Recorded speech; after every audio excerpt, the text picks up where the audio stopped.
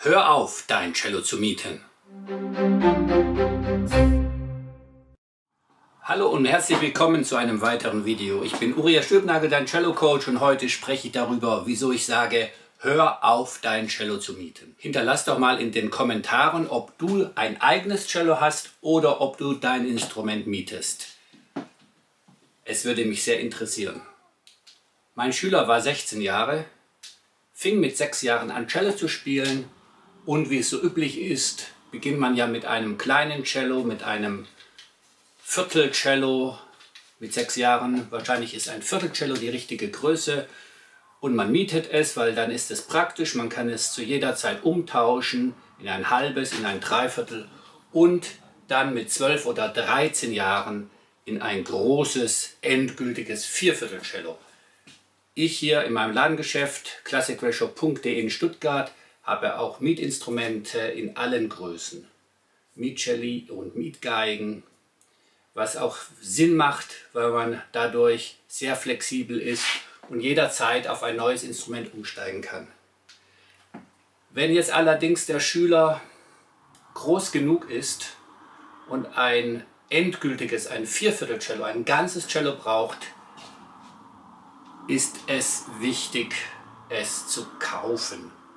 Man kann vorübergehend es natürlich mieten, aber überlegt mal, was passiert, wenn das Cello weiterhin nur noch gemietet wird. Wie war es mit meinem Schüler? Er war dann 12, 13, hat ein großes Cello bekommen, aber halt auch gemietet.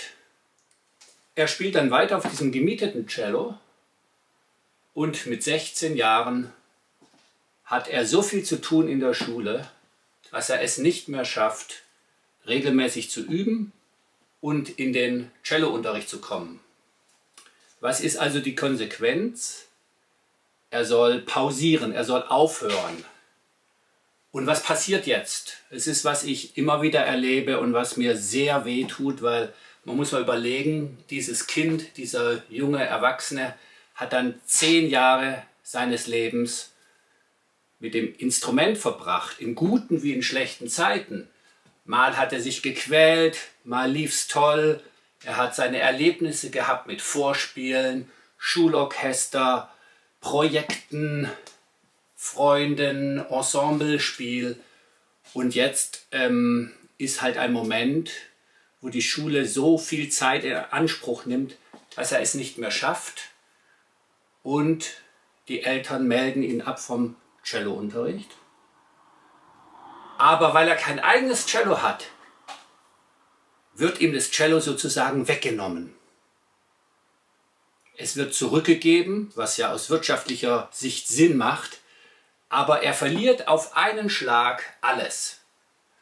Er hat keinen Unterricht mehr und er hat kein Instrument mehr. Diese Realität, diese Konsequenz ist für mich natürlich als Cellolehrer und Cellocoach sehr schmerzhaft.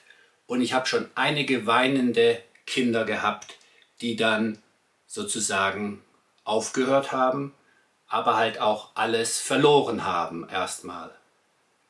Und ich finde, wenn man alt genug ist, sollte man sein eigenes Instrument haben. Mit seinem eigenen Instrument verbindet man sich auch ganz anders es gehört dann zu einem, mit dem erlebt man Sachen, schöne Sachen, aber auch, wo man sich überwinden muss, tolle Momente in Konzerten. Und diese Erlebnisse werden mit diesem Instrument verbunden und verknüpft. Und es ist dann was eigenes, sein eigenes Instrument, mit dem man das alles erlebt hat. Und auch wenn man dann mal eine Pause macht, wenn man mal eine Zeit lang keinen Cellounterricht hat, hat man immer noch sein Instrument, mit dem man was machen kann, was man holen kann, wo man einfach mal spielen kann oder später, wenn man dann studiert oder wenn es eine Lebensphase kommt, wo man wieder mehr Zeit hat, man sogar wieder anfängt, Cellounterricht zu nehmen. Und darum rate ich dir, erwerbe ein eigenes Instrument für dein, für dein Kind, für deine Kinder aber auch für dich selber vielleicht. Wenn du Cello spielst und nur mietest, ist es sicher am Anfang mal eine Option. um einfach mal zu schauen, gefällt mir der Klang, wie komme ich mit dem Instrument zurecht. Aber dann solltest du dir ein eigenes Instrument erwerben, zulegen, weil nur so schaffst du eine wirklich starke Verbindung zur Musik über dieses Instrument. Und natürlich wirtschaftlich macht es auch Sinn, ein eigenes Instrument dann zu erwerben, weil es ist ein Sachwert. Und auch wenn man es mal irgendwann mal wieder verkaufen muss, wird man immer wieder etwas dafür bekommen und nicht so wie mit einem Auto, was am Ende viel kostet, man hat den Wertverlust und am Ende ist es auf Null, sondern es wird immer einen Wert haben.